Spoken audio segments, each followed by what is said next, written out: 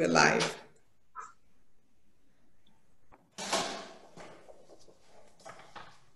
We're live, Odin.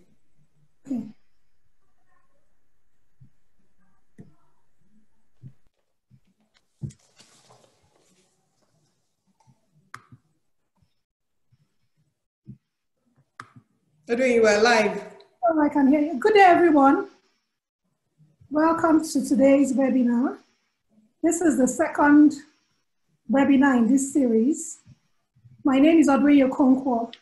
I'm a public policy professional and co-founder of IDEV Africa, and I'll be moderating this session. Thank you for joining us as we discuss the future of social protection in Africa.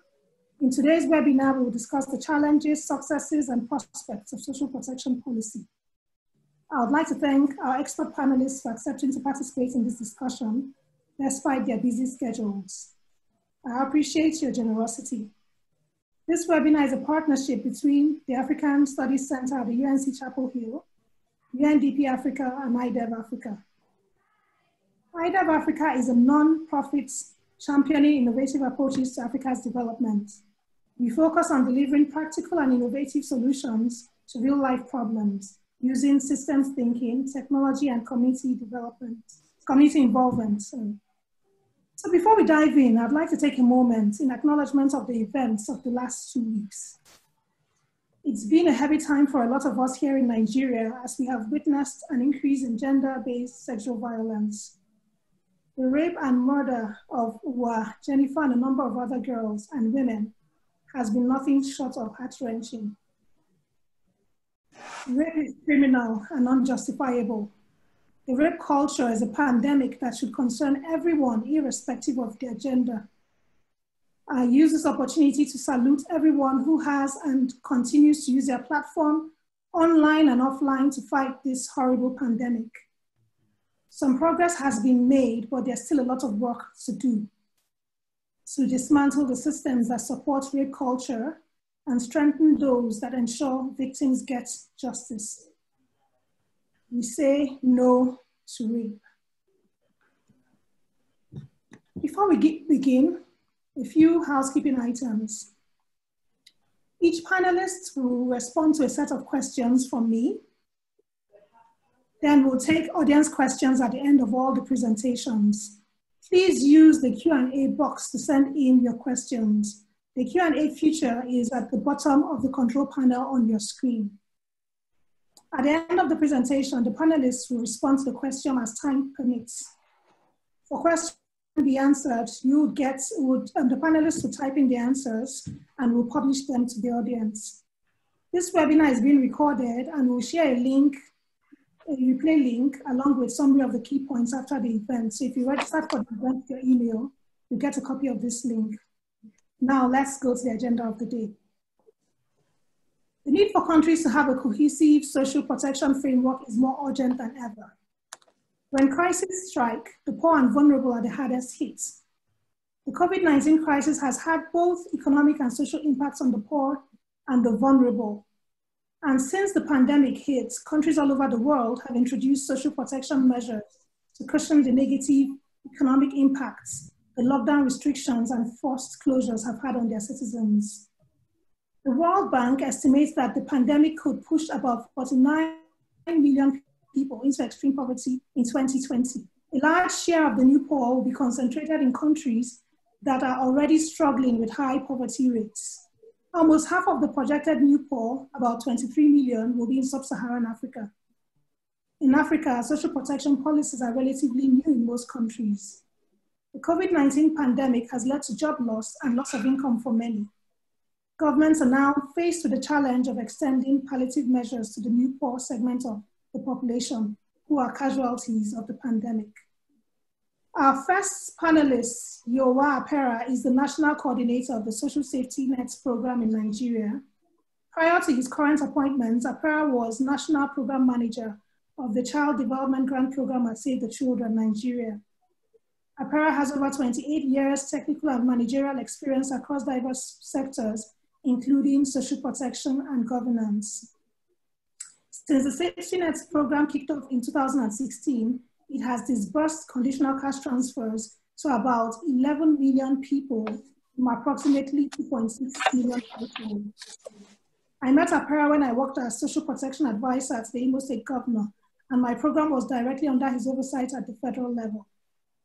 Apera, my first question to you is, in view of the COVID-19 pandemic and an emerging new poor segment of society, how does the National Social Safety Nets Office intend, intend to extend coverage to those who are not formally deemed eligible for social assistance, particularly those in the informal sector? The second question is, can you please speak on the challenges your office has faced in distributing cash transfers to beneficiaries in remote areas? Okay, thank you very much, uh, and uh, welcome everyone. Uh, thank you for this um, brilliant opportunity uh, to uh, rub minds together uh, on the future of protection as the main strategy and driver of um, alleviating um, the poverty um, of our citizens, um, not only in Nigeria, but in Africa. And also uh, for us in Nigeria, particularly, this uh, resonates with the presidential ambition of lifting 100 million Nigerians out of poverty in 10 years.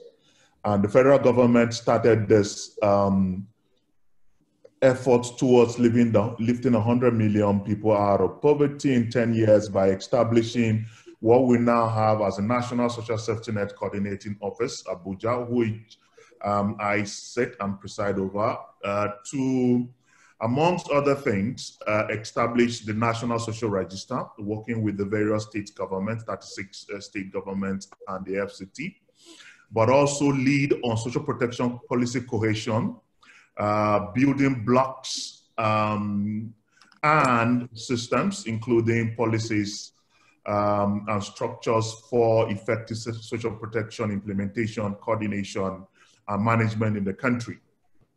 Uh, to do this, we of course worked with a number of um, partners, uh, MDAs. As we all know, social protection is multi-sectoral, and some of the efforts of the partners and other MDAs also led to the uh, approval of the social protection policy for the federal government of Nigeria in 2017 that the president signed it, uh, the policy after the FEC approved it. This policy is of course up for review this year.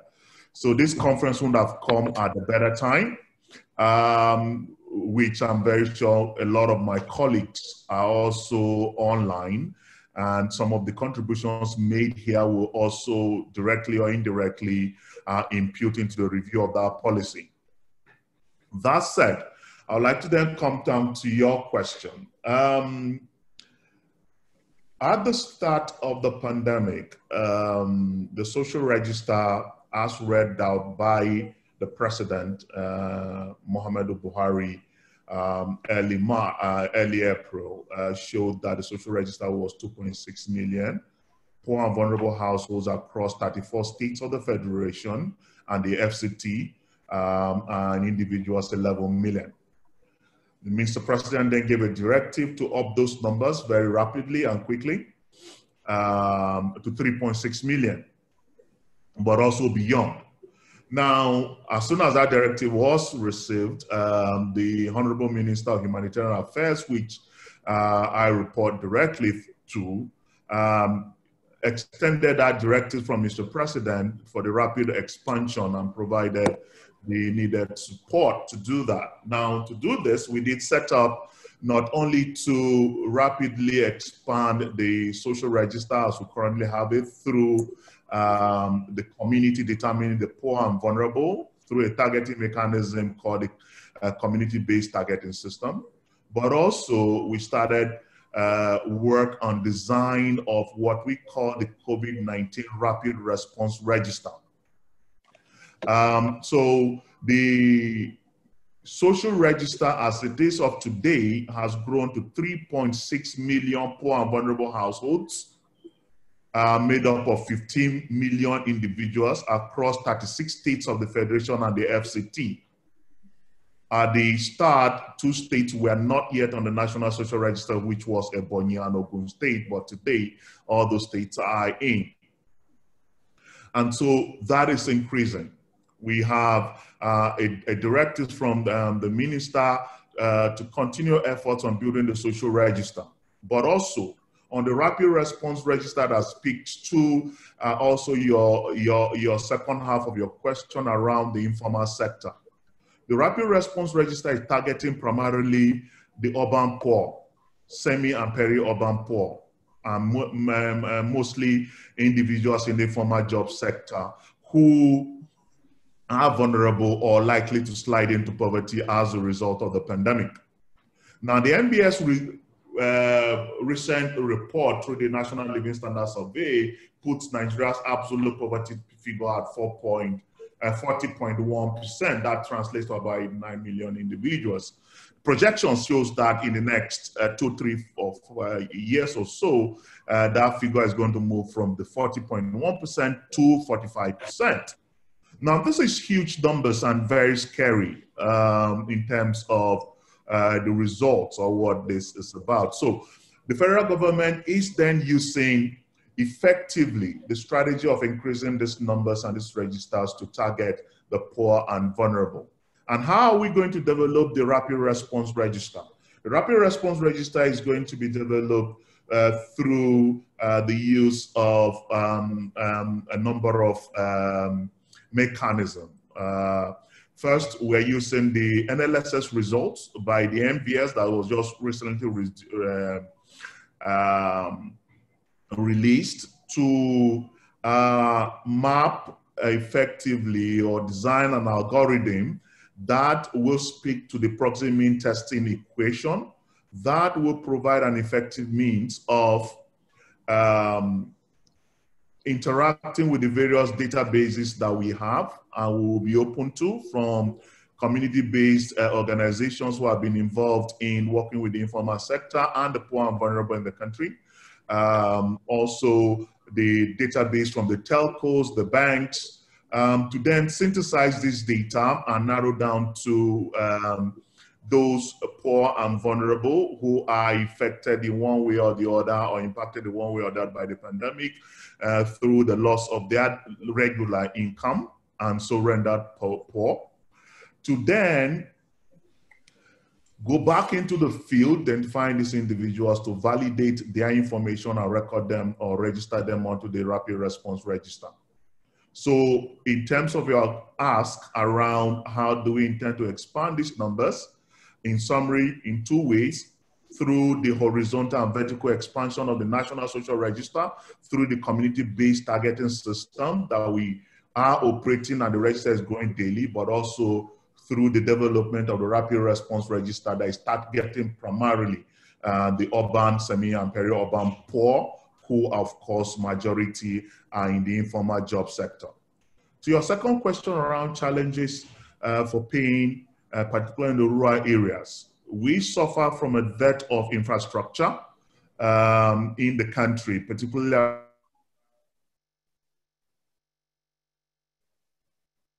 around financial infrastructure. Um, we uh, we have a directive from the Honorable Minister Sadiya Umar Farouq to quickly digitize the current ca uh, cash transfer as far as possible, uh, which we are doing right now, but also uh, working with other relevant partners to see how we extend digital payments to the last mile to the rural uh, populace. The good news is that they are emerging very strongly um, agency network for mobile money in the country. And we are, we are working towards leveraging on those structures to extend cash transfer to the poor and vulnerable, even in the rural areas. So I'll stop here um, and then I'll, uh, I'm sure I'll have a chance to entertain questions and also um, to thank you very much for the opportunity.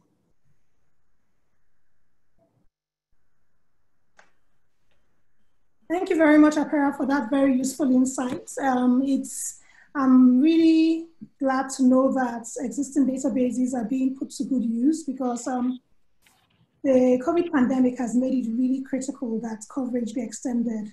Um, the former figures were really low compared to the number of already existing poor people we have in Nigeria. So um, hearing that work is being done to extend coverage even beyond the social register and beyond, you know, what we have, and even using algorithms to be able to synthesize the poor people who um, in the informal sector is really important and is very, very useful um, insight to have at this time. So um, now, um, from your from Mr. Apera's contribution, we can see that expanding social protection in African countries um, can be hindered by the weak identity management systems that fail to capture the informal sector. And as it seems, the work to capture the informal sector is being done at this time that the pandemic is already taking place. This leads me to um, our second panelist, Ms. Sheila Nkunika, who has worked extensively in, on social protection in Africa, particularly Zambia. She's worked with the governments and CSOs and also the United Nations. She currently works as the senior social protection expert at Save, Save the Children Nigeria. And in her role, she provides technical oversight for the implementation of Save the Children's social protection portfolio in Nigeria. Save the Children does a lot of work in Jigawa and some other northern states. Sheila, from your experience of working in developing countries, how would you advise governments to tackle the coverage of the informal sectors in countries with weak or non-existent identity management systems? Secondly, can you please share some of your experience of using social protection programming to promote social inclusion and address gender disparities? So thank you very much uh, for those questions, Juni. Definitely some very uh, vital questions, especially in this era. What COVID-19 has done is really speed up the work that needs to be happening currently in social protection. So the first issue that you spoke about, and I think Apera touched on it, is the fact that um, the pandemic has shown us really how uh, poverty is distributed across Africa and across different developing countries. So we find that most of our social protection programs focus on those people we deem as poor and vulnerable. So those are the really extremely poor and vulnerable. There's not so much that is covering the middle. So these are the ones that are mostly in the formal sector, and they are really around that poverty line. So with any eventual shock that comes in, these people find themselves in, uh, in, extreme, in extreme poverty. But as you said, uh, currently, for most African countries, I think as the experience is in Nigeria, as uh, Apera said, there's very um, limited coverage of, of, of, this particular group. But apart from that also, in a lot of countries, there's the weak uh, identification, identification systems. So with the identification systems, I think there are two problems we need to be aware of. So the first thing, which is more concerning, is the exclusion. So sometimes when we narrowly target, for, for instance, and just say those people who have maybe specific IDs or are registered as part of social registers, I think which are coming up in Africa, there would be possibilities of that exclusion. So a lot of people might be excluded. So those that are most in need, that do not necessarily have access to social services and registration might be um, might be excluded. The second point is the inability to verify identities. So that is a serious issue. And this causes a lot of leakages. And I think the leakage is a very big concern for a lot of programs because again, it prevents support from reaching the people that actually that actually actually need it. So going forward, I think there's a big case to really invest in uh, identification and vital registration systems. But speaking at the moment, I think there are a lot of countries, there are a lot of partners working in this area. I'm aware of the World Bank in my country, Zambia, that have been supporting the whole vital registration and ID system. Here in Nigeria as well, there are programs around that. But in terms of the immediate needs that we need to do, I think Apera touched on this.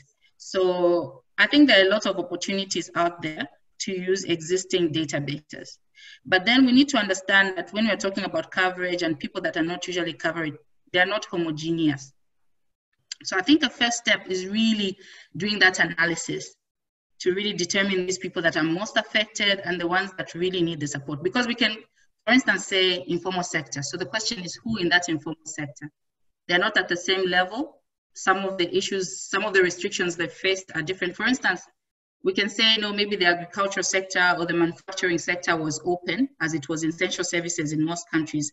Despite that, you found that those that are really at the lower ranks, that are daily employees, the ones that depend on daily wages, might have been laid off, even if these are sectors that were deemed as um, economically viable. So really that analysis is very relevant to know how you're segmenting the support and who needs what part of support. Based on the analysis, the next step is really thinking about these people. What are some, some of those services that they access? What are those some of those private sector infrastructure or service providers they're registered with? So banks, telecommunication companies, other NGO programs, those are all opportunities to capture those people that are left out, okay? Also, another important aspect is the self-targeting. So if you identify your categories very clearly, there's that opportunity. If I self-identify, for instance, if you go categorical and say, I want to capture all widows or persons above the age of 60 or persons working in this particular sector or that sector, that is that self-identification. But there's still need for verification or even in terms of uh, of the self-identification. But the important thing is not just to build that particular register for this response, but looking forward, if that register is built, that work is done to identify these people, how are they transitioned into mainstream systems? How are they linked to ongoing initiatives to create IDs and uh, and actually a registration, vital registration system. So if they're identified and provided with support, they need to be linked to mainstream systems and beyond that, what do we see uh, in terms of social protection? So if we're providing COVID-19 relief now, what happens to them maybe once um, the impacts are dampened? How do we move them into some more structured support? In terms of people that talk about social security schemes, because that's an important area for the informal sector. So these people, what social security schemes are there for? Women, for instance, we extend maternity protection to maybe domestic workers? Is there a insurance scheme, something that they can contribute to? Maybe people in construction, people in agriculture. So really designing products beyond just maybe social assistance and also looking at social security and the different things that can can really um, can really capture these particular type of groups and provide with adequate support. And moving forward, I think the next question you asked was around inclusion and particularly disparities for women. So the funny thing about programs is every time I hear people say, oh, we are gender sensitive or we are inclusive, by basically targeting women as recipients, the expectation is that a program becomes sensitive and addresses disparities. But however, that is not the case. So there's really need to look into some of those real social risks. So what are the unique vulnerabilities? What is the differentiated impact of programs on men and women? There are other, I think, programs that really look at these issues in terms of what do they, how do they impact women? How do they impact uh, girls? What exactly is the different considerations that need to be to be taken into into account in terms of economic and uh, social social vulnerabilities that are different across men and women. So I think there are some programs, for instance, in Ethiopia, we have uh, the PSNP and also in India. So you have like a public work program, but this public works program takes into account the caregiving role that women have. So for instance, since they still have to take care of children in the home, how are they supported with that care role? So these public works offer different schedules for women. They also offer childcare uh, opportunities. So if you're working in the productive safety net program in, in Ethiopia, there's flexible hours. There's also some support, maternity support for pregnant and nursing women, and also really focusing to ensure that you get uh, equal wages and the payment is done. Apart from that, using that program in social protection, not just to give that money and say there's been improvement in gender dynamics, the PNSP, for instance, has decided to look at women and reduce some of their um, time poverty. So women have to collect wood, they have to collect water, but really looking at how to use such a program to do community projects that respond to this. So the big important thing is to say that just because a program targets women does not mean that it is gender sensitive. We really need to look at those dynamics and design around those specific vulnerabilities that, uh, that women face. So going forward, I think there are a lot of opportunities. A lot of governments are really on board. A lot of programs being implemented claim to be gender sensitive. But the important thing is investing in ensuring that it's not just about delivery of one benefit, but really the complementarities and really addressing those social risks that are unique to women as a particular group, but addressing them and linking that to various sectors. So yeah, I think that is where I'll end for now. Thank you very much, Audrey.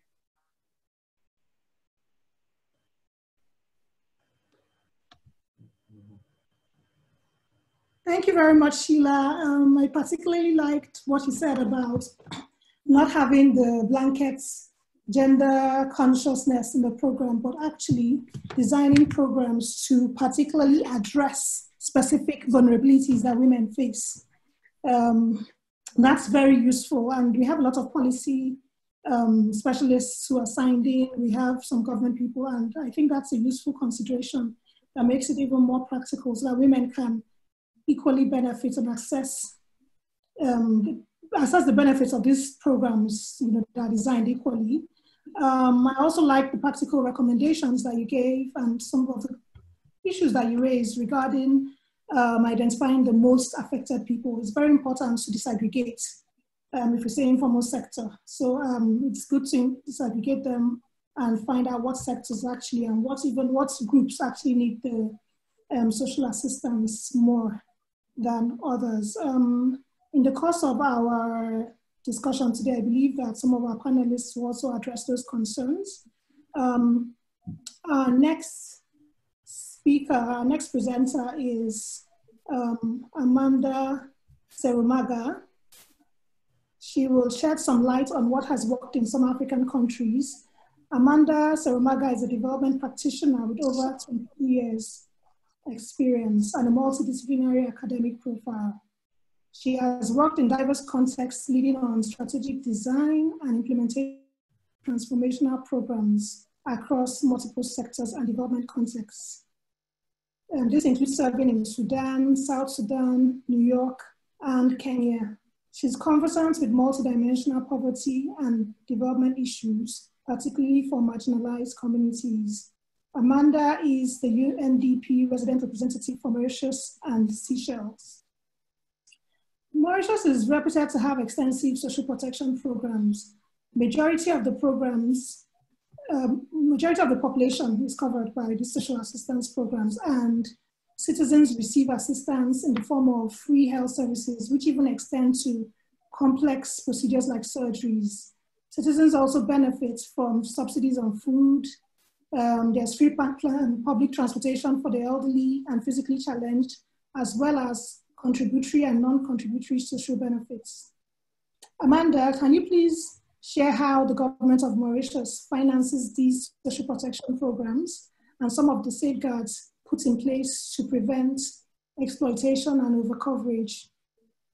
My second question to you is focused on the role of NGOs in the implementation of social protection programs in Mauritius what are some of the emerging areas for attention against the backdrop of the COVID-19 pandemic? Thank you very much, and thanks for giving the overview on Mauritius. Um, I mean, I think you're in fact right about its reputation for a very broad social welfare scheme. If you'll allow me, I'd like to just share my screen and uh, just give you an overview of the answers to the particular questions that you've raised. Um, I hope you can see the screen now. Let me know.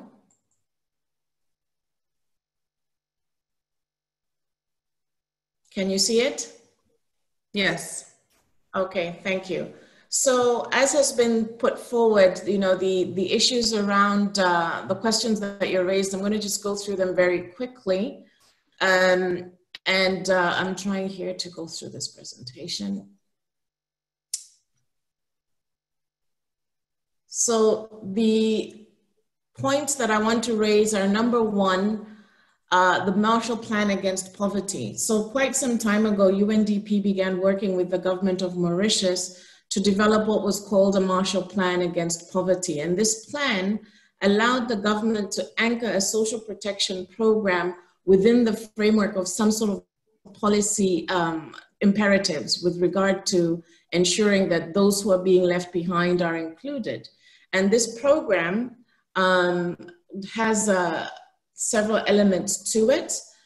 And let me know if you can see side three. So the plan has about 39 actionable and costed proposals and that provide for those, you know, the traditional areas of social protection in terms of employment, education, health, and empowerment, and so on. And the main element of the program is that to establish a contract between citizens and the government around alleviation of poverty and promoting empowerment.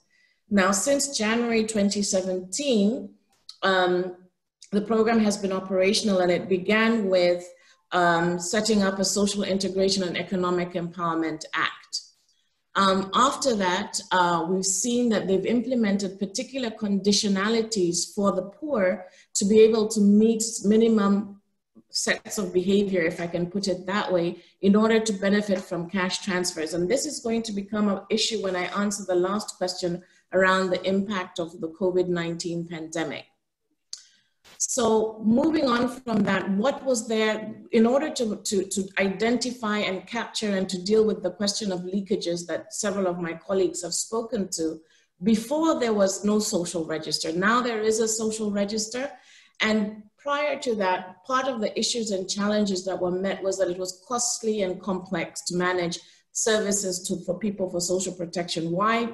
Precisely because of problems of targeting, so that there was also a multitude of programs that were managed by various different MDAs, high and under coverage of the poor, uh, a leakage uh, due to the non-poor, and exactly getting back to the point of the need for a national identification system, a lack of relevant data, in other words, linking the poverty imperatives and the programs to some sort of targets around poverty alleviation and reduction and empowerment, and then the subjectivity in terms of deciding who was eligible and who was not.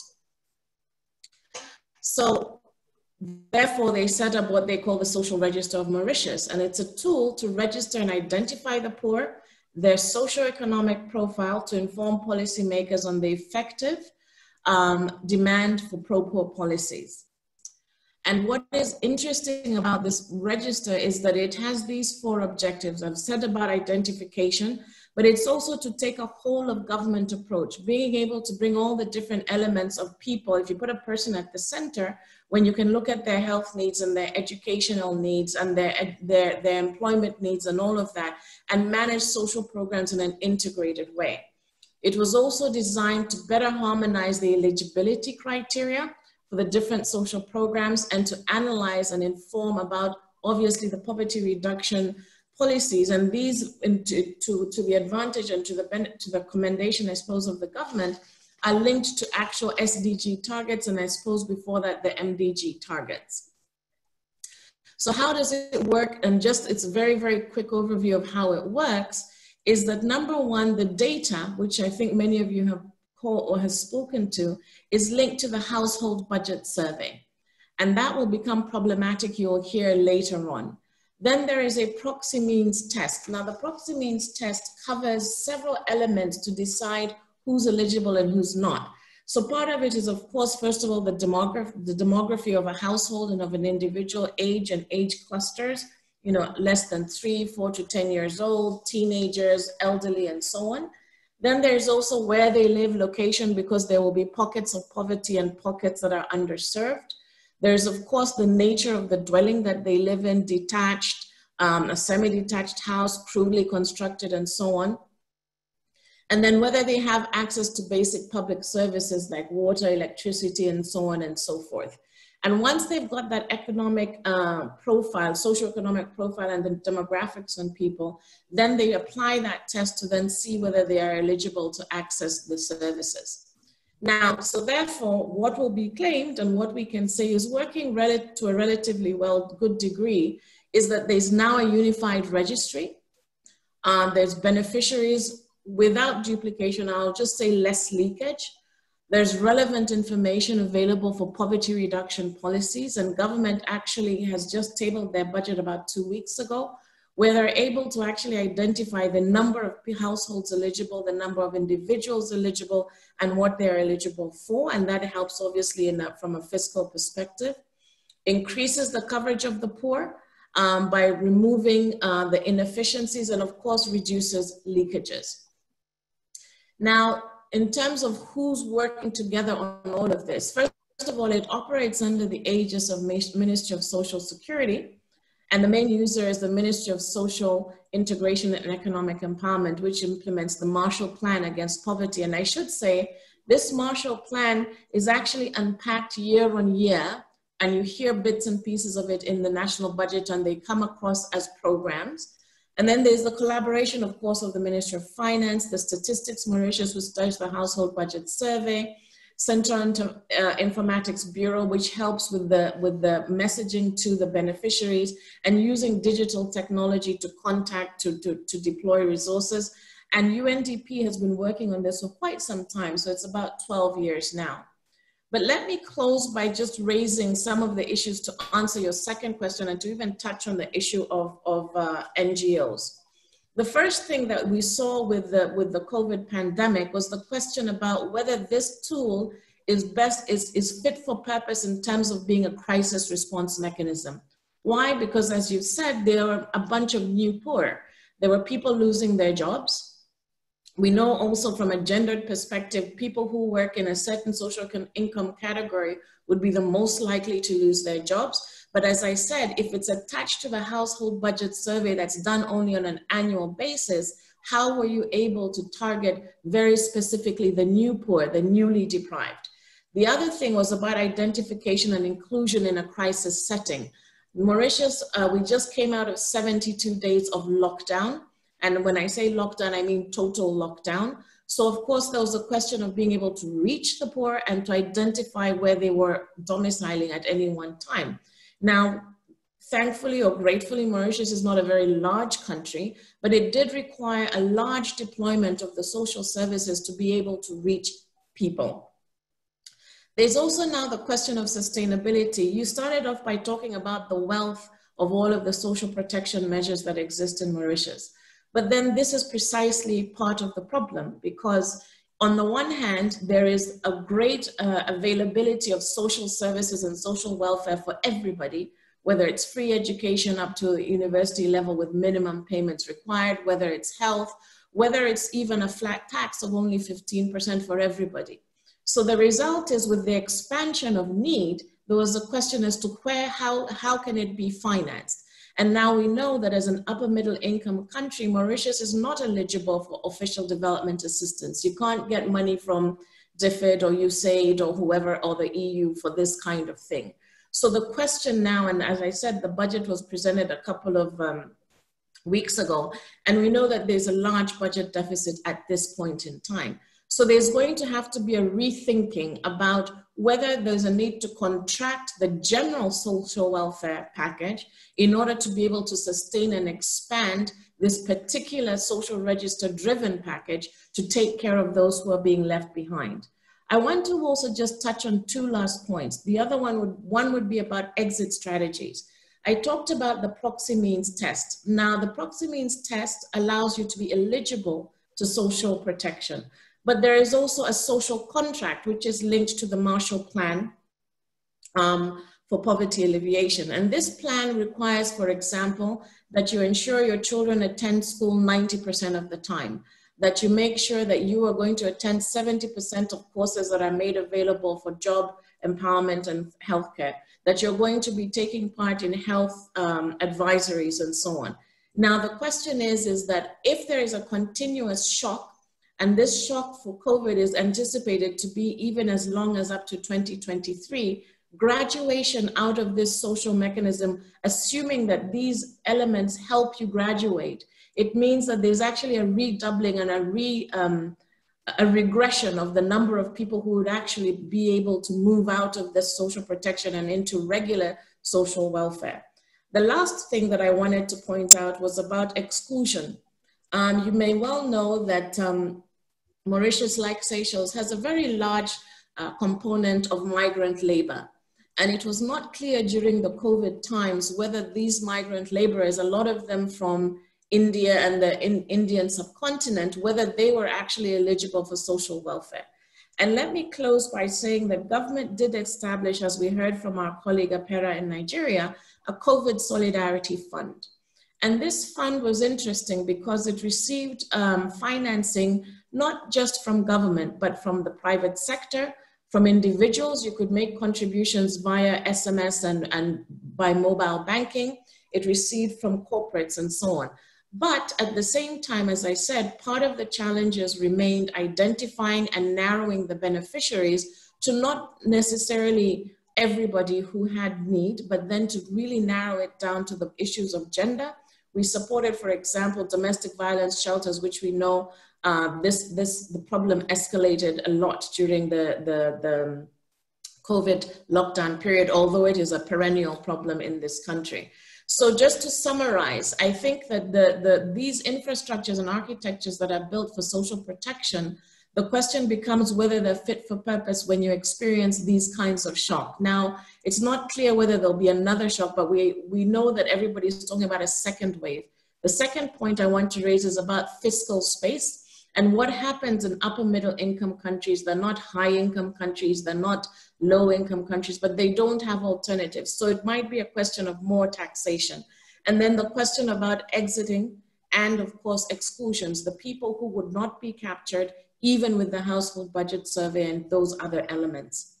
Thank you very much.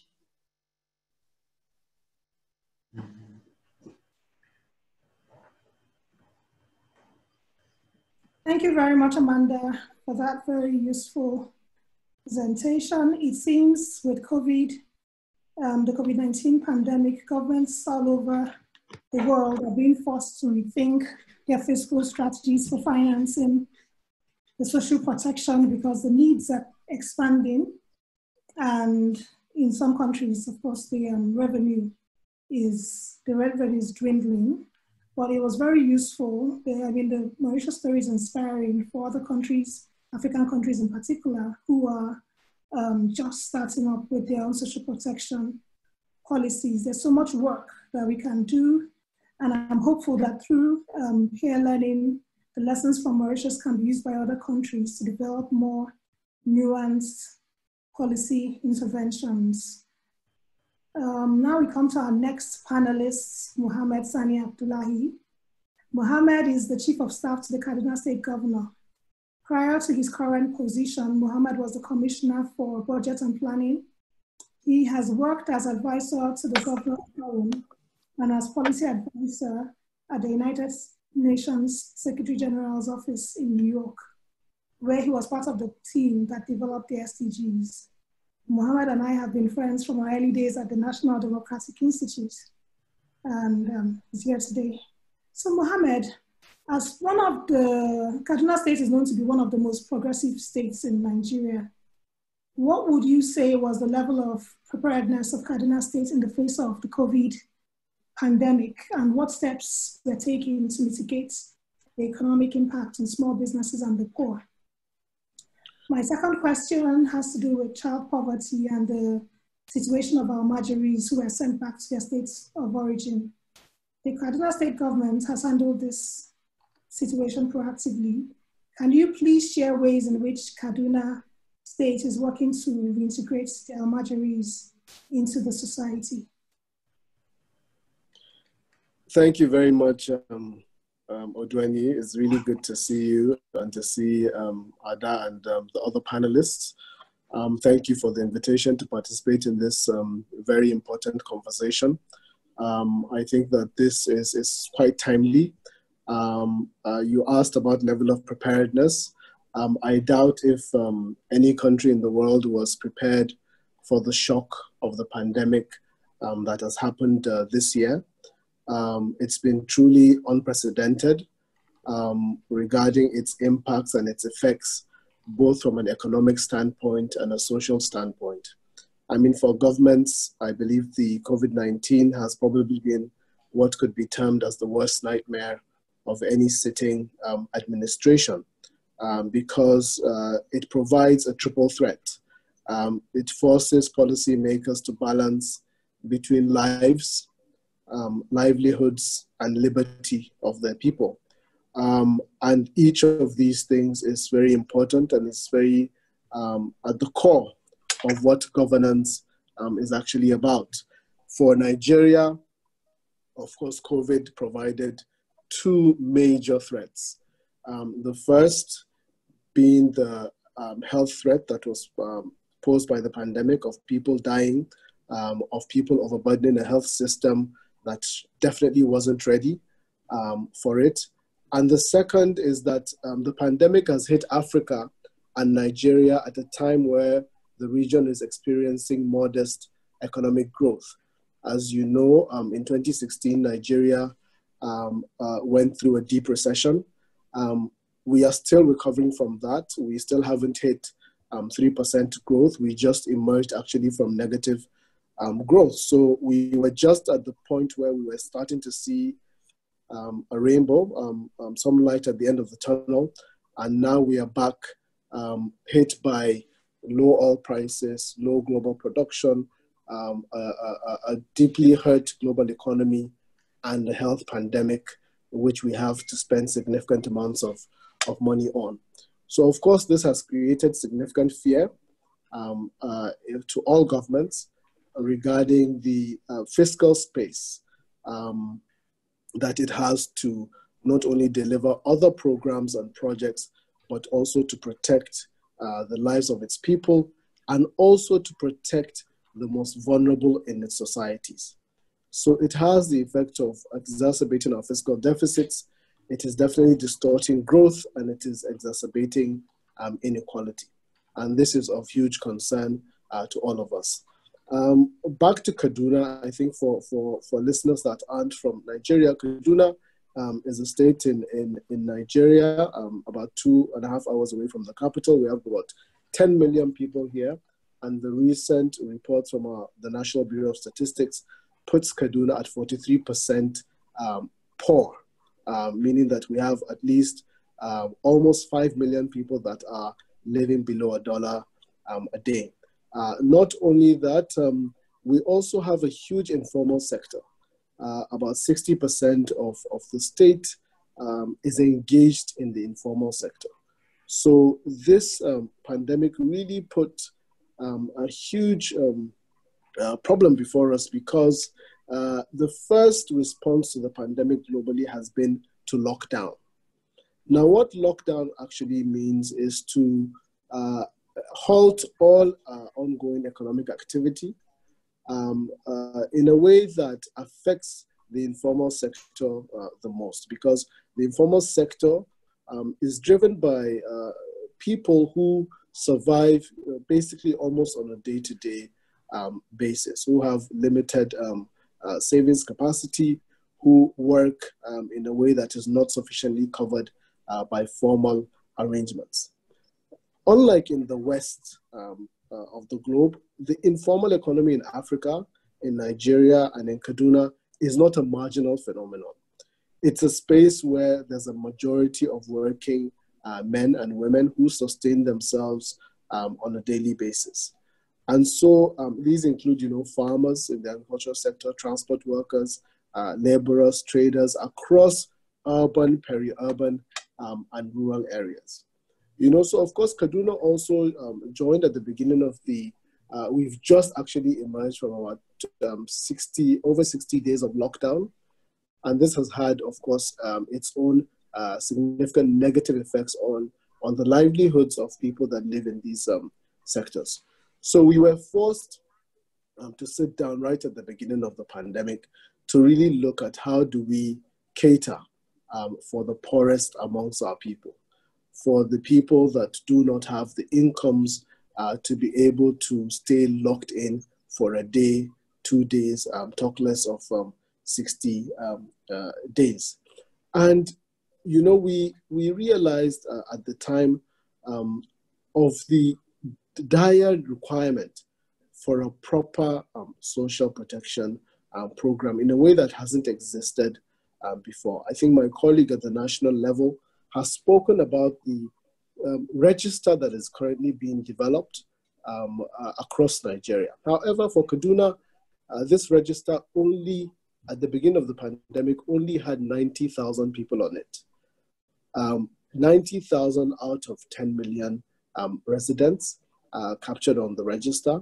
Um, if we're looking at 5 million that are poor, then this is 90,000 out of, of, of 5 million, right? Or 4.3 million.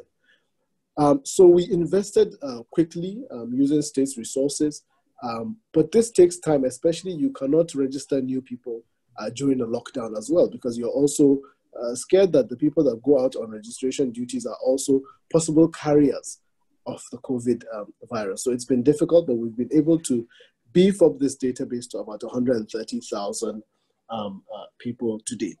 So we immediately started a round of what has been properly tagged in Nigeria as the distribution of, of palliatives, uh, which is food items um, of various social support uh, to targeted communities where we think uh, we have vulnerable uh, people. So in the first round of the palliatives, we had gathered significant amounts of food um, and some resources to, to distribute to areas where we thought would be most affected. But when we sat down, um, the first thing that came out was really a dearth of data, uh, lack of identity. Um, who do you actually target? Who do you provide these um, uh, palliatives to? How do you ensure that it is not a politically um, uh, motivated distribution, but that these things actually go to um, who they're supposed to get to. And we had a huge problem. And so the first round of the palliative distribution really did not go um, the way that we planned. Um, uh, there was wrong targeting. Um, uh, at the end of the day, the people that we thought um, should have received this um, uh, support from the government didn't. So we came back to the drawing board and tried to really look at how do we target, how do we uh, expedite the creation of a register, how do we ensure that we're identifying households? And we picked up on a few things. Uh, firstly, the uh, state has been doing um, household surveys almost on an annual basis, which identifies our poorest local governments, our poorest wards. But these do not go as far as identifying individuals. Secondly, we picked on the 90,000 from the social register, which were already receiving some support uh, from the federal government. And third, we then tried to use telco data to identify, we worked with the National Communications Commission, a few of our telcos, to get the database of um, individuals within the state that had mobile phones and that had low recharge amounts to use as a proxy to identify the poor. Now, that had a few challenges. Number one is that you're only targeting people that own phones um, at the first instance. And secondly, people that live in areas where there's mobile coverage. So we tried to create a composite index uh, with these three sources of data and then to retarget the distribution of palliatives in that um, second round. And this has gone a bit better. We were able to reach 30,000 houses, but still not scratching the surface. So really what it has revealed to us is the huge gap that we have in terms of supporting our people. So we've sat down now, we have a, a dedicated social investment um, team that's looked at all the various support systems that we provide. We have a, a, a, a program that's ongoing with the Ministry of um, Human Services and Social Development that really has been a model to supporting women, right? We have another program uh, that looks at nutrition and really looking at children, uh, school going age, and, and all of that um, part. We have the contributory pension scheme, which supports the, the elderly part of our population. We have a contributory health scheme. But these are not coherently brought together under an umbrella that we can term um, really social protection. Uh, so we don't have really what you would call a robust um, social protection program. This is something that the pandemic has revealed, and it's something that we're really trying to work on now very, very quickly um, uh, on all sides to see, including legislations that need to be uh, that need to be done. We've got them scattered about, but it's not um, holistic in a way that we would um, term really a robust social protection uh, program. So uh, the uh, social investment program in Kaduna was tasked to create this um, protection policy, which a draft has now been made available. It has gone through extensive rounds of, um, of commentary from the people um, to really come up with something that's strong based on an identity management um, system, which we're building that has over 2 million residents today, working together with the national uh, program. So this is um, a work in, in progress. Now, a subset of the most vulnerable population in Kaduna is, as you have termed um, uh, uh, Oduenyi, the Almajiris. Um, these are usually young um, uh, boys, usually, even though recently we've discovered that even girls have been engaged in the system, who are sent across the state uh, and across Nigeria for Islamic education.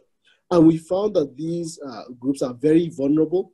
A number of them uh, stand the risk of rape, um, stand the risk of all manner of social, social ills by virtue of not being under um, uh, the, the, direction of a family, without the love of a family, without education. And so we've really, uh, the governor has felt very strongly about this and has discussed and led his other colleagues now to put an end to the Almajiri system um, uh, uh, using this time. Now, the COVID pandemic allowed us to identify where they actually live. Because when the city is open completely, it's impossible to identify where these Almajiris are located because they're very mobile, they hide from the law.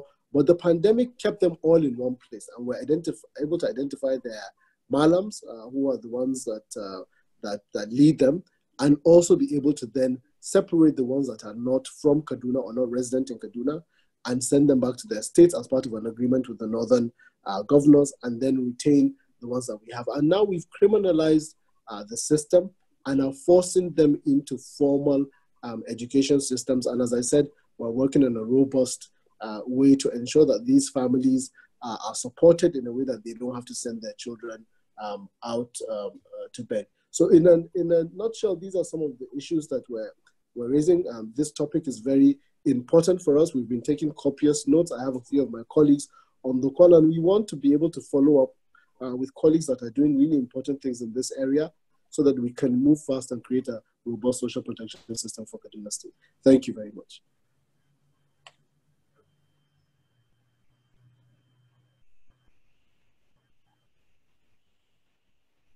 Thank you very much, Muhammad. Um, the last statement about taking notes and um, learning from other colleagues, that was one of the reasons why we put together this dialogue because we hope that it would encourage a lot of learning among practitioners in the social protection space so that lessons and experiences from other countries can also be replicated.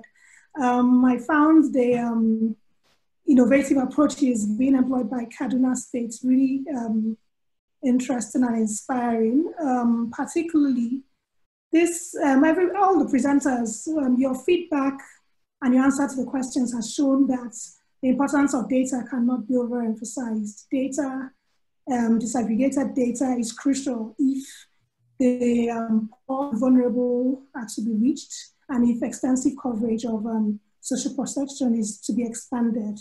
Um, like Muhammad said, there's a lot of work to be done the surface has barely been scratched, but definitely um, there's been some progress made and it's also still a work in progress. Um, where we are almost one hour into this webinar. Um, so I'd like the final speaker to make his presentation so that we would have time to take um, questions and answers. I can see that a lot of questions have been um, posted using the question and answer box. Thank you very much, Muhammad. So I'll now come to our final speaker, um, Ashu Handa. Ashu Handa is a trained economist specializing in poverty and human capital in developing countries. He is a Kenan eminent professor of public policy at the University of North Carolina at Chapel Hill. He is one of the principal investigators of the multi-country research initiative on the impact of national cash transfer programs on households and children. This initiative is led by the UNICEF, and he has led and been part of large-scale impact evaluations of national cash transfer programs in Ghana, Malawi, Zambia, Kenya, and Zimbabwe. He, um, he's going to address a question that often comes up in the debate on social protection. There are several schools of thought who argue that social safety nets in general will undermine the resilience of the average African who's known to survive against all odds. Handa, in your experience, what model of social assistance do you think is the best fit for African countries keen to provide social safety nets for their citizens without encouraging free rider behavior or over dependence on social assistance? In addition, how would you advise governments like we've overemphasized during this, um, we've talked and talked about during this webinar, governments with weak identity management systems and low financial inclusion indices to expand social protection coverage, especially cash transfers. Thank you very much for inviting me. And you could see that I indeed have been asking some questions because I've been learning quite a lot from the other panelists. So it's really a pleasure to be here. And apparently Sheila and I go back sometime from Zambia days. Thanks for reminding me, Sheila. I'm going to share uh, my screen with a few slides. Um, let me know if um, it is working. Do you see, do you see my screen? Yes. So I'm part of um, the transfer project. You can see the logo here in the bottom right. And we are uh, a research and policy, kind of policy advocacy uh, initiative. It's led by UNICEF in collaboration with the, the FAO in Rome and uh, the University of North Carolina, where I'm based. Um, and, and we, um, our goal has been to really build the evidence base on the impacts of cash transfer programs uh, in sub-Saharan Africa, focused on working with governments. So uh, we have been engaged in over a dozen impact evaluations of government cash transfer programs. And so what I thought I would do is give you a kind of overview of some of the, the key results that we found um, over these countries, right? Um, and then address some of the issues. So, you know, very briefly, let me, um, this is the opening slide actually. So what I kind of wanted to make sure that everyone was um, aware of is just the extent to which cash transfers are actually part of government um, policy throughout sub-Saharan Africa, right? Um, I'm not sure who the audience is and what their knowledge, previous knowledge is of social protection cash transfers, but so just to remind us that when we talk about cash transfers, we're talking about um, a kind of regular, predictable transfer of cash right? Either monthly or bi-monthly to a particular target group, right? And Sheila mentioned you could have categorical, others have mentioned poverty targeting as in Mauritius and so on, right? So there are different ways of targeting. Uh, so these should not be confused with like one-off grants, you know, that are maybe tied to entrepreneurship and other things. There is some confusion about what a cash transfer is, but what everyone here has been talking about is kind of this regular income support that's provided over a period of time to particular groups. Um, cash transfers reach over a billion people across the world. Um, and in sub-Saharan Africa, as you can see here, um, we estimate that about 70, over 70 million people um, are reached by government programs now. And that number is growing every day, even as we speak. And we've heard the Nigerian experience and the Mauritius experience. Even as we speak, this number is growing, right? Um, and almost every country government has a cash transfer program now. We have amassed a considerable amount of evidence, which I'd like to share just a quick overview of with you. Um, but these systems, these programs typically um, as I mentioned, target on some kind of vulnerability criteria. We've heard of some of the criteria here, including, you know, orphans or vulnerable children, like the Ghana LEAP program or the Kenya or Botswana or Namibia programs. Um, in Southern Africa, obviously, orphans and OVC is a big driver of cash transfers because of HIV AIDS. The typical programs, um, and this is what we want to get to in terms of financial inclusion, are what we call uh, use pull systems rather than push systems for payment. So pull means that beneficiaries are brought to a pay point and they are then paid their money in cash, which speaks directly to the issue of whether that can be made more efficient, right, by um, enabling financial inclusion and allowing e-payments. We'll talk about that in a second. The typical, just to give you an idea, the typical transfer size can range between 10 to $20 uh, per household per month. Uh, the structure could be either like a flat transfer as it is like in Zambia or Kenya. Um, so the household basically gets a flat amount, let's say $15 per month, or in many countries, the transfer value is tied to the size of the household, and then usually there's a cap, right? Um, so those are, that's for example, um, uh, in um, Mozambique, there's a transfer that's staggered. In Malawi, the transfer is staggered by household size and so on. Um, and we've seen really a rapid expansion of these programs in the last decade. And these are some of the countries that have really increased rapidly the proportion of the population covered by cash transfer programs.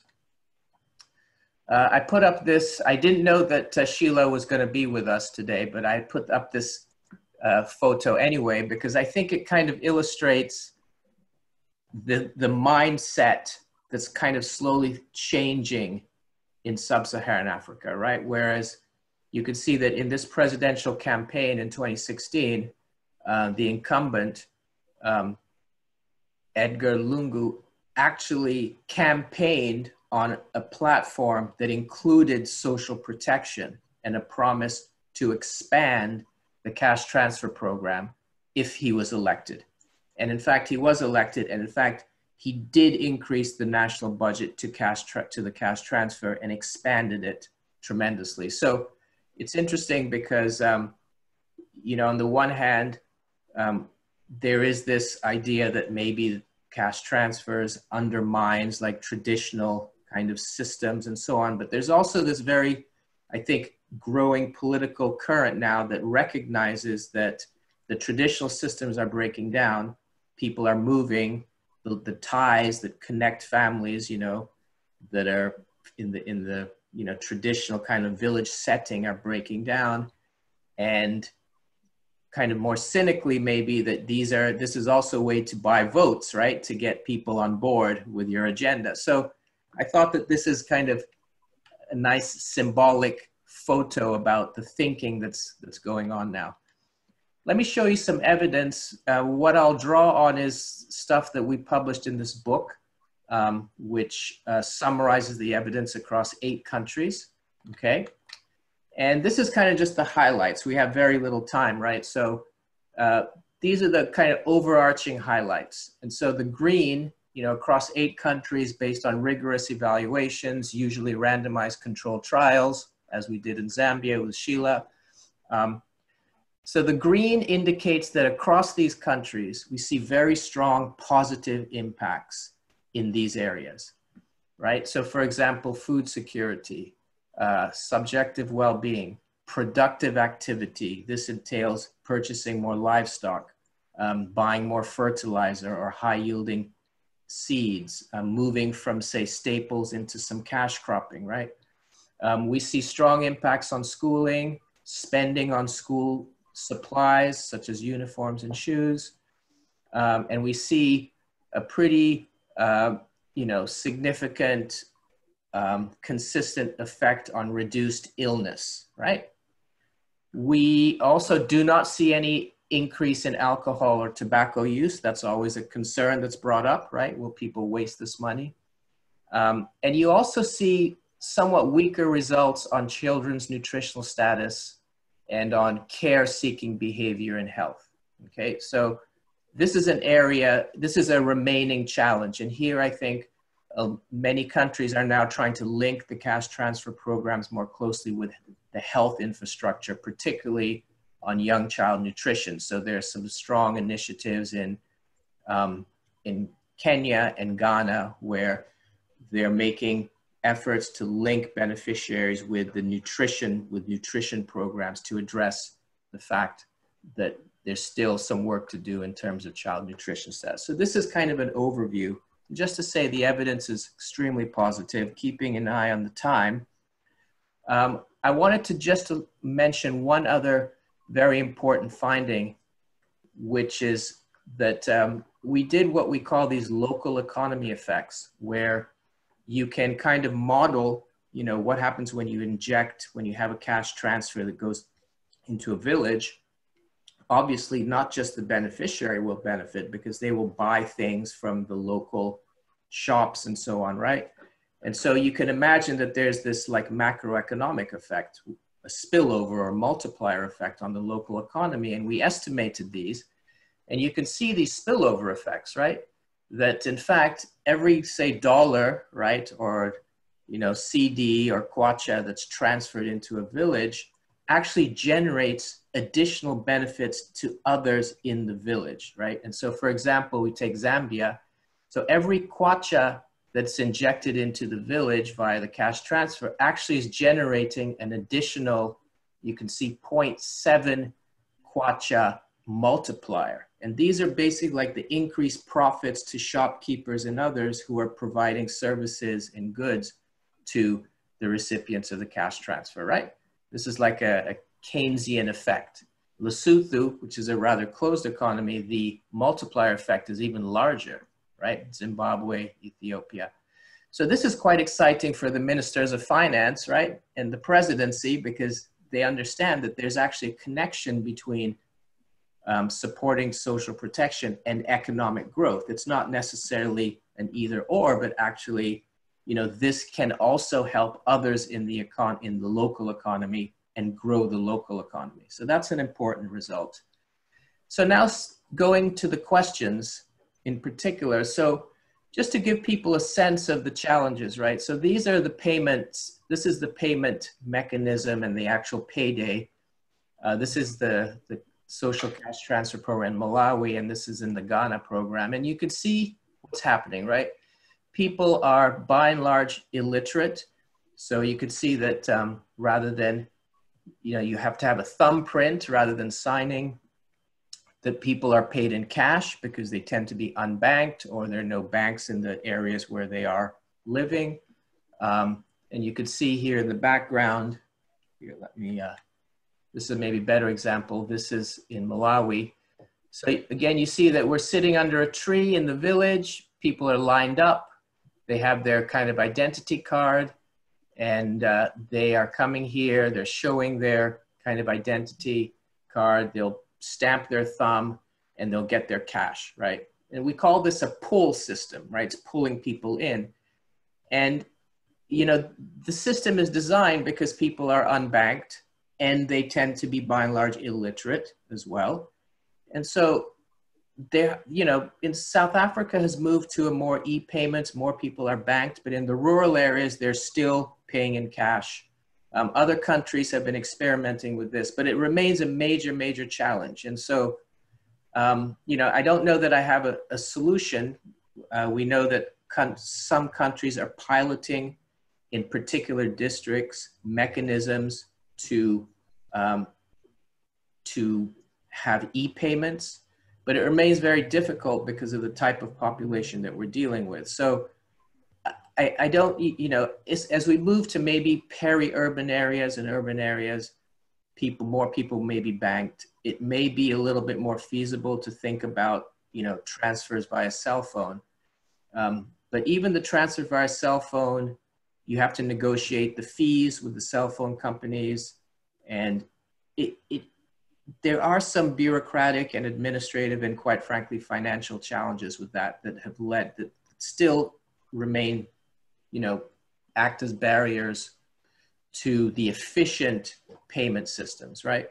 Um, so the other thing that's very important to understand is that these pull systems provide a very important opportunity to link beneficiaries with other services. So, you know, Amanda talked about the Mauritius kind of conditional cash transfer, and if you read her response in the chat, she talks about how you know, there are these other services that they want to provide to beneficiaries.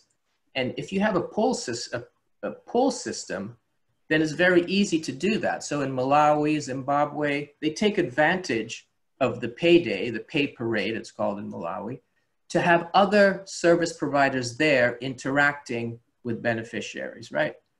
If you have a push system, you lose that contact. So you may gain something in efficiency, but you may lose something in terms of the case management and the more comprehensive and holistic type of intervention that you know many families need, right? Because their problems go beyond just cash, obviously. Um, so I just wanted to lay that out there as something that I think is worth thinking about.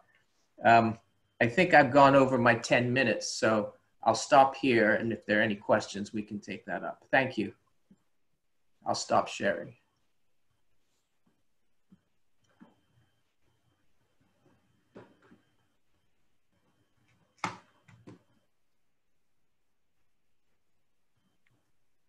Thank you very much, Handa. Thank you for sharing empirical evidence on the impact of cash transfers and for driving home the point that providing cash transfers to the poor and vulnerable don't necessarily make them over dependent. Instead, actually, they help them have more choices in terms of catering to their basic needs. And um, also it injects money into the local economy for those small businesses that service these poor households. Um, regarding the um, question of financial inclusion, it seems that um, that might be a good opportunity for collaboration, for governments to collaborate with the private sector, particularly financial institutions, perhaps provide some incentive for them to begin to explore ways in which they can increase the coverage of financial services to those in um, or in these low income communities because it's you know a real problem in a lot of villages there are hardly any banks and the cost of even transacting going to town to withdraw cash and all, all is it's a hindrance it's a deterrent for a lot of uh,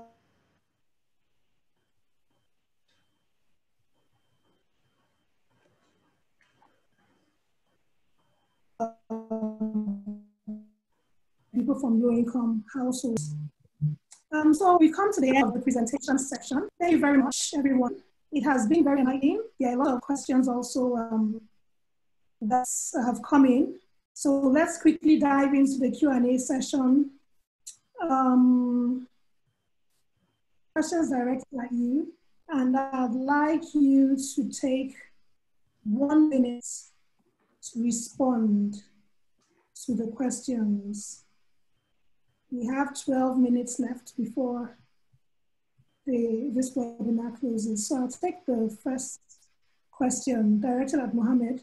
What plan is Kaduna State? This question is from Emmanuel Danjuma. He says, what plan is Kaduna State having in place for linking social protection in enterprise development beyond the cash transfers?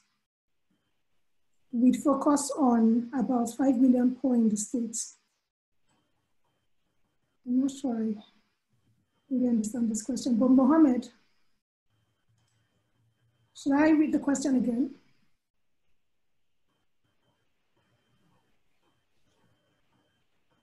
Yes, sure. please, if you, can, yeah. you can read this again.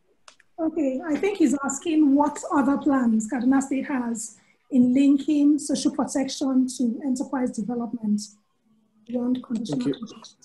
Okay, thank you very much. I think in the draft policy that we're looking at now and about to formalize, we look majorly at, um, at four broad measures um, to deliver and coordinate our social protection um, uh, promises. Uh, the first is protective, um, which looks at how to protect the vulnerable and poor households, um, their incomes um, and the consumption methodologies through non-contributory social assistance programs like cash transfers, school feeding, fee waivers, you know, other interventions that reduce the barriers to accessing um, basic social services like health, education, uh, water, and sanitation. The second um, group of measures are preventative, which look at things that prevent um, individuals and groups from falling into poverty due to shocks like we have seen um, now. So, contributory social insurance schemes that guarantee incomes, health insurance schemes, pensions, um, and all of that. I think the question looks at the third measure, which is promotive measures. So promoting the ability of vulnerable households to engage in productive and profitable activities. So looking at how really to um, boost their livelihoods um, through empowerment schemes, public works programs, agricultural inputs, because uh, because of the budget constraints that we have, um, it's going to be very difficult to roll out um, a supportive um, measure forever. We need to be able to look at how do we provide capacity um, to these vulnerable groups to be able to climb the social ladder and exit um, uh, deep poverty. And this is by economic activities. And it involves capacity programs, um, small loan programs, subsidies, you know, all these things that allow them to start earning incomes and work their way up the ladder so they get off um, social uh, protection. So uh, these are some of the major issues. And the last one is the transformative um, measures where we look at um, addressing social norms uh, and practices that sort of fuel um, inequality and discrimination. So these are more sort of long-term issues around legislation, raising awareness, and, and other issues like that. Thank you very much. Thank you very much, Muhammad. Um, I'll take, I think this question is addressed to Handa. Is there any evidence that cash transfers are more efficient and effective than food palliatives? Yeah, very much so. There have been several, I think there have been about two like very rigorous head-to-head comparisons of food versus cash. One of them was in Ethiopia, uh, one of them was in Ecuador, one from Latin America, and one from sub-Saharan Africa. I think Mali maybe. Um, but the head-to-head shows that in terms of the cost effect, so there are two things. One is if you're giving food, then you kind of have to look at food as the outcome, right? So in terms of the cost effectiveness, the cash is really an order of magnitude more cost effective in terms of just transporting, you know, getting food out there versus the cash, right? The other part of that is when you give food, you are really narrowing people's choice to just food. Whereas if you give cash, you know, as I showed you in that screen, you have you can get these enormous effects across the household, right? Schooling, you know, morbidity, subjective well-being, productive effects. So giving food is very narrow in the sense that you're really targeting one specific thing. Yes, it's important, but you know the needs of households are actually quite complex and it's up to the household to figure that out, we feel, right? So I would say the evidence is pretty good. And even the World Food Program has now started seriously um, looking at ways to give cash instead of food in certain crisis situations, acknowledging this. Thank you. Thank you very much, Handa. Um, Sheila, this question is um, from Modashola Balogu. She asks, how can social protection programs cover disability related costs for persons with disabilities, especially in the pandemic, since most of them are at higher risk of losing their means of livelihood? Okay, thank you very much uh, for that question. Indeed, I think uh, inclusion is a very critical aspect of any response currently. We find that a lot of these very vulnerable and excluded groups face additional vulnerabilities. And I think one such group is persons with disabilities. I think an opportunity here is not just a question of uh, providing cash transfers. The other considerations that government should take into account is this transfer analysis. Okay? I think we need to be thinking about that. So I, I find that in most responses, because it's important to piggyback or build on existing uh, programs, there's been a move to sort of extend some of the uh, programs that are already in place and really use those transfer values. But what you would discover is that with this huge shock, the COVID-19 in particular, there has been really changes in what that transfer, whatever transfer the different governments are providing can actually meet what needs it can meet. So I think a key investment overall is just the transfer value, but this transfer value should also be related to different vulnerabilities faced by different groups. So for instance, uh, a transfer value that can be provided to a person who has other sources or doesn't have the cost that a person with disabilities has should be uh, different. So the first step, I think, point of would be a transfer value, but a differentiated one to really see what are those needs? What can this particular transfer we're giving to this person cover?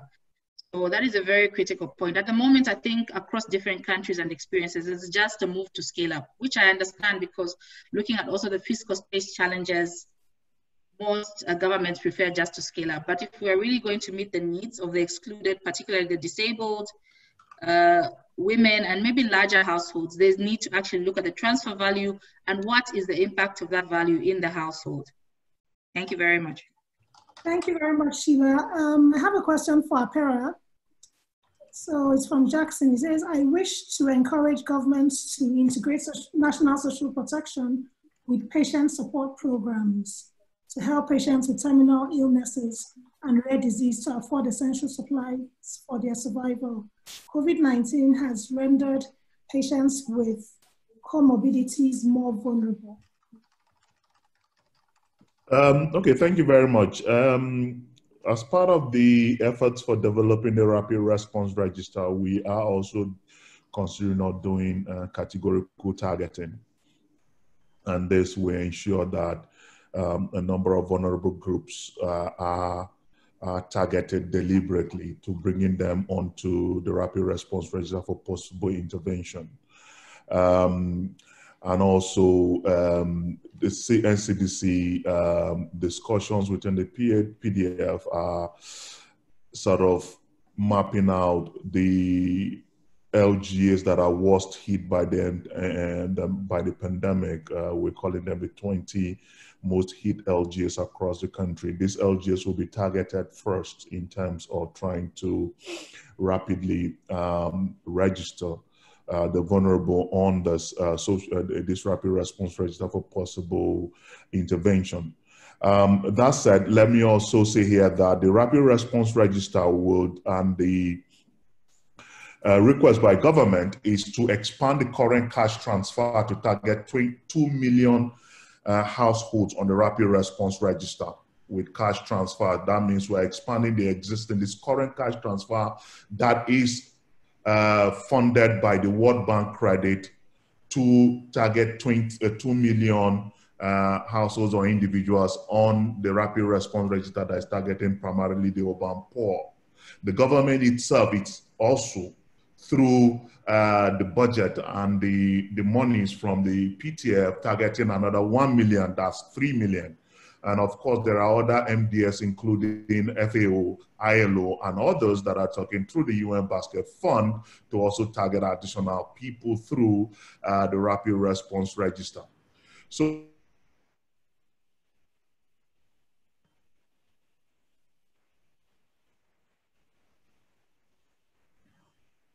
So that said, I'm more to the other question, to slide into poverty. Uh, we have uh, the rapid response rate, including um, categorical targeting. That will